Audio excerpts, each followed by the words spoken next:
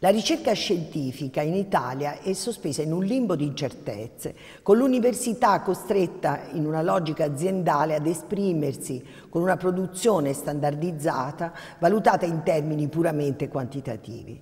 In questo contesto lavorativo, oltre che culturale e sociale, si colloca l'annoso problema della discriminazione di genere mai realmente affrontato. Nonostante i recenti passi in avanti, le scienziate italiane sono lontane dall'eguagliare per cariche e progressione di carriera i colleghi maschi. Il fatto che l'ambiente accademico sia per definizione culturalmente più avanzato non aiuta, anzi risente ancora di più del pregiudizio secondo cui le donne siano più studiose e quindi candidate ideali per i ruoli intermedi e non per quelli apicali. Care ragazze, non arrendetevi.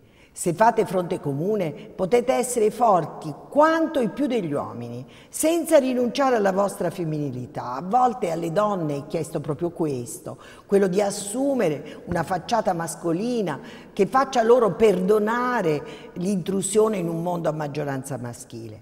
Sensibilità, intuito, empatia, capacità comunicative sono tutte doti al femminile da coltivare invece di adottare strategie maschili più aggressive, a noi meno congeniali, pertanto destinate ad un sicuro fallimento. Ovviamente si devono accompagnare a idee innovative che scaturiscono da un paziente lavoro di studio e di ricerca. È così che si abbatte il muro della discriminazione di genere e allora raggiungere i propri obiettivi diventa solo questione di come e di quando, non di se.